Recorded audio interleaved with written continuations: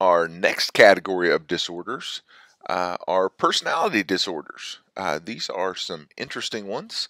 Um, please uh, don't start diagnosing the annoying people in your life with these. Uh, keep in mind, we do have those four Ds. Uh, and so, uh, even if somebody has personality quirks or a personality you maybe don't care for, probably doesn't qualify them uh, for one of these. There are four of these we're going to take a look at, uh, and uh, I'll put some really cool videos uh, on the playlist there on YouTube because there are a lot of um, got a lot of neat ones that uh, that if we were together, uh, I would be showing you in class and talking through.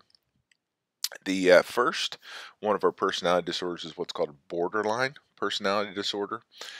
borderline personality disorder is an interesting one uh, these are people who have self-image struggles.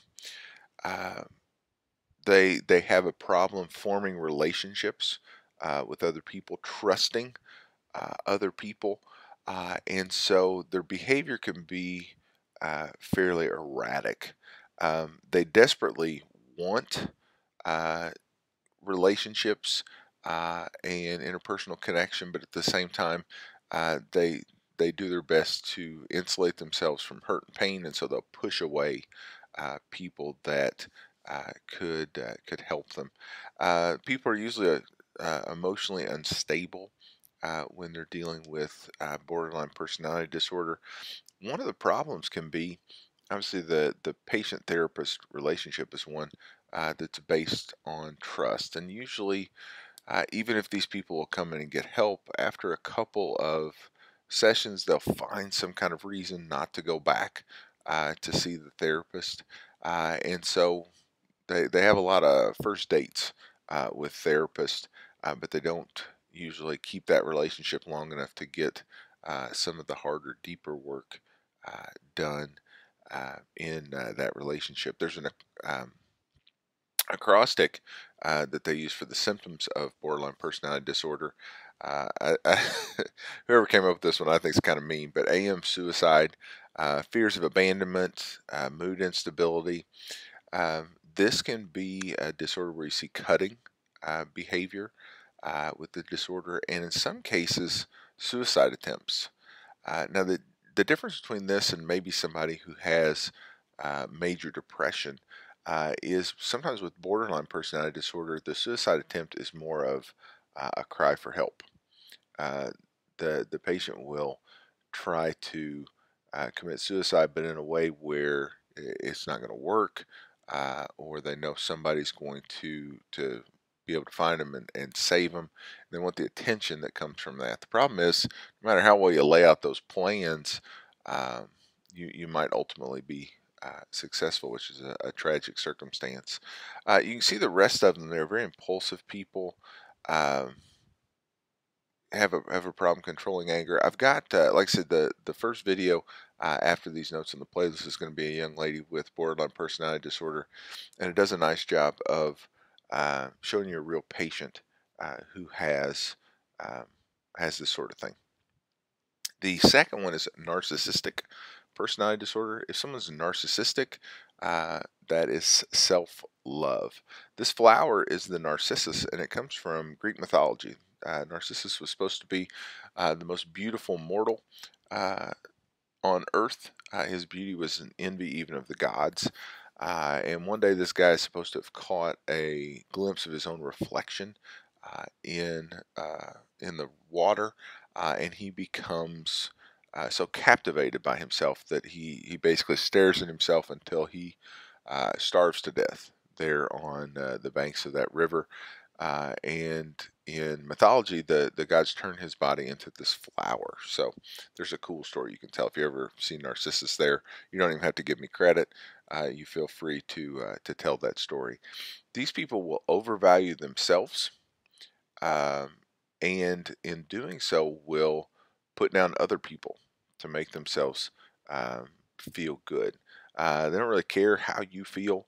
Um, they want uh, the attention, the focus to be on them, but they want it to be positive attention uh, that's going to be on them. Obviously, people uh, that feel this way can come off as arrogant uh, and so it's hard for them to uh, form relationships uh, as well. Uh, if you're going to dig into this, though, this is another one where you you're, you're going to do quite a bit of talking with these folks. It's figuring out where those perceptions come from and helping them to change that thought process uh, in some way. Histrionic personality disorder uh, is uh, another personality disorder where people are wanting attention, but this doesn't necessarily have to be positive attention. Uh, narcissists want positive attention. People with histrionic personality disorder want any kind of attention, and they'll use um, like shows of emotion. You hear uh, you can hear the term people going into histrionics, uh, and that just means a real showy kind of flash of emotion. Uh, and so that that can be a place where you'll see this one. Um, they will also use their sexuality or their appearance uh, to get attention. So uh, they dress uh, a little risque. Uh, maybe they are too flirty uh, or kind of over the line that way with folks. Uh, very impulsive when you have histrionic personality disorder. and so um, these are people that um, are sending the wrong message to people when they're being flirty like this uh, that can be uh, get them into some situations where, where they may get uh, in a little bit of trouble uh, themselves.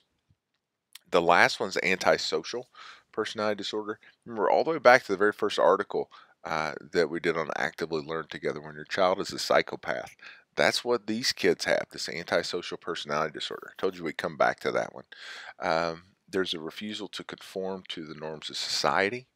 Um, they really don't like uh, rules. They don't like the people that enforce the rules. But the problem is they, they understand them enough to be very charming. Uh, the fellow that you see in the picture here is a guy by the name of Ted Bundy. Uh, and Ted Bundy is a serial killer. He, uh, uh in late 70s, early 80s, uh, was in Florida, um, was caught, escapes prison. they, they just did a Netflix series on him that's that's been pretty popular uh, about Ted Bundy. Uh, but basically, the guy was really charming. He understood uh, ways that he could get people to do what he wanted. Uh, he was there was a particular type of woman that he killed, and uh, he could be very convincing in, in getting uh, getting these young girls into vehicles with him, that sort of thing, so that they were in compromised positions. Um, we saw with antisocial personality disorder, the treatment for this one uh, can be very difficult.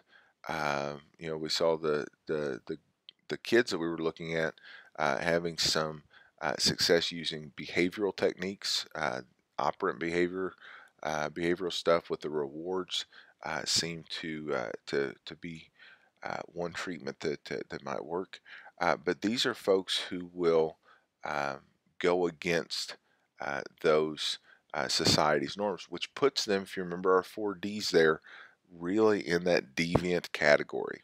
Uh, these guys know what is expected of them uh, and will go against uh, what is expected of them. Uh, so those are our four personality disorders.